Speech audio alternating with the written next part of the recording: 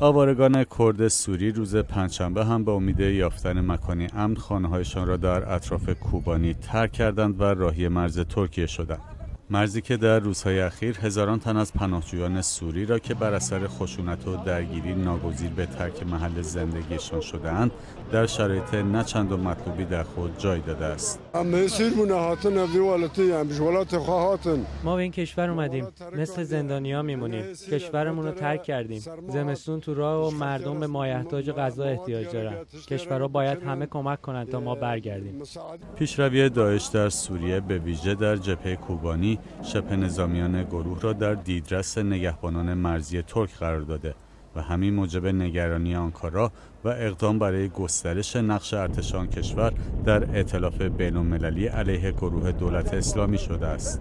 قانونگذاران ترک روز پنجشنبه طرحی را به رأی می‌گذارند که دولت آن کشور برای ایفای نقش عمدهتر در مبارزه بین‌المللی علیه داعش در قالب اعزام احتمالی نیرو به آن سوی مرزهایش در سوریه و صدور اجازه استفاده ائتلاف ضد داعش از پایگاه های ترکیه برای سازماندهی عملیات علیه گروه دولت اسلامی و دیگر گروه های تروریستی روز سهشنبه تسلیم پارلمان کرد. پارلمان ترکیه پیشتر اجازه عملیات نظامی ارتشان کشور در خاک عراق علیه جدایی خواهان کرد را صادر کرده بود. رجب طیب اردوغان خواهان ایجاد یک منطقه امن در خاک سوریه و نیز منطقه پرواز ممنوع بر فراز مرزهایش با سوریه شده است. آقای اردوغان مبارزه با داعش و دیگر گروه های تروریستی را اولویت ترکیه می‌خواند. آنکارا همچنان که برای مبارزه با تروریسم زیر فشار قرار گرفته، نگران است این مبارزه جدای خواهان کرد را که برای خودمختاری مبارزه می کنند تقویت کند.